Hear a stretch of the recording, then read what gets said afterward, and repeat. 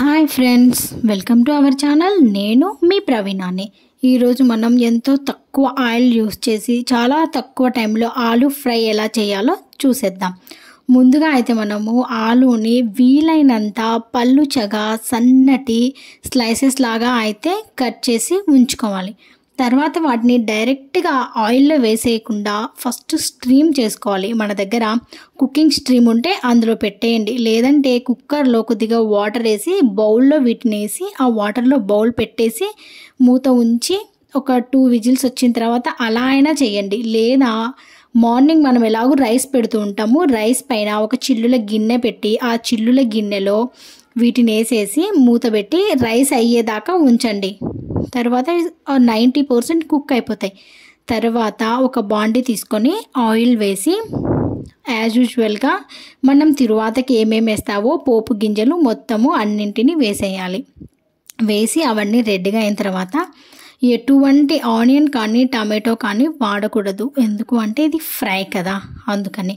కొద్దిగా కరివేపాకేసి గుమగుమ అన్న తర్వాత ఒక మంచి స్మెల్ అనేది మనకు వస్తూ ఉంటుంది. ఆ పచ్చి వాసన. అప్పుడు మనం నైంటీ పర్సెంట్ కుక్ అయినటువంటి ఆలుని వేసేయాలి. వేసి కొద్దిగా టాస్ చేయాలి. అవి కుక్ అవ్వడానికి వీలైనంత కొద్దిగా సాల్ట్ని అయితే వేసి మనము టాస్ చేయాలి. అంతే. అది చేసిన తర్వాత మనమే ఒక ఒక మిక్సీ జార్ అయితే తీసుకొని ఎండు కొబ్బరి పప్పులు పప్పులు అంటే పుట్నాలు కొద్దిగా వెల్లుల్లి నాలుగు నుంచి ఐదు రెబ్బలు కారం ఉప్పు ఈ ఐదింటిని వేసి ఒక మంచి పొడిలాగా అయితే రెడీ చేసుకోవాలి. ఆ పొడిని తెచ్చి డైరెక్ట్గా మనం ఇందులో కలిపేసుకోవచ్చు. అలా లేదు అంటే ఇందులో కొద్దిగా పసుపు యాడ్ చేసేసి కారం ఎండు కొబ్బరి అలా విడివిడిగా అయినా మనము యాడ్ చేసుకోవచ్చు. ఎంత మనము కుక్ చేయాలి అంటే వీటిని అలా కొద్ది కొద్దిగా ఆయిల్ అనేది బయటకు వస్తూ ఉంటుంది. అప్పుడు అవి మనకి కొంచెం బాగా పర్ఫెక్ట్గా కుక్ అయినట్టు. అలా కుక్ అయితేనే మనకు ఫ్రై తిన్న ఫీలింగ్ కూడా ఉంటుంది. ఆ ఎక్స్ట్రా వచ్చింది కదా ఆయిల్ అలా ఆయిల్ కూడా వద్దు అవసరం లేదనుకున్న వాళ్ళు తీసేసుకోవచ్చు. కొంచెం ఎక్కువగా వేసుకొని ఇంకా కొంచెం తీసేయచ్చు. ఎందుకంటే ఇప్పుడు చాలా రేట్లు పెరిగిపోయాయి కదా ఆయిల్కి అయితేను మనం ఇలా చూసి ఆయిల్ తక్కువగా ఉండేలాగా వంటలు చేసుకోవాలి.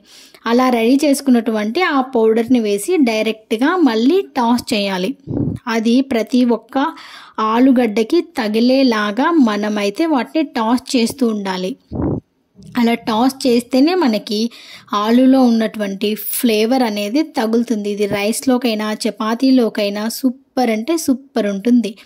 తర్వాత కొద్దిగా మనము టాస్ చేసేసి కొద్దిగా కొత్తిమీరనైతే యాడ్ చేసి మళ్ళీ ఒకసారి టాస్ చేసుకోవాలి. ఇలా చేసుకుంటేనే మనకి పర్ఫెక్ట్ ఆలు అనేది రెడీ అవుతుంది. చూసారా ఎంత ఈజీగా ఉందో? మామూలుగా మనం చేసే ఫ్రై అయితే ఒకటికి పది సార్లు స్టవ్ దగ్గరికే తిరగాలి. ఎందుకంటే అవి అడగంటుతున్నాయో మాడిపోతున్నాయో అనేసి. ఇక్కడ మనం పౌడర్ రెడీ చేసుకునేసరికి అక్కడ ఆలు అనేది కుక్ అయిపోతుంది. చాలా ఈజీగా ఉంటుంది.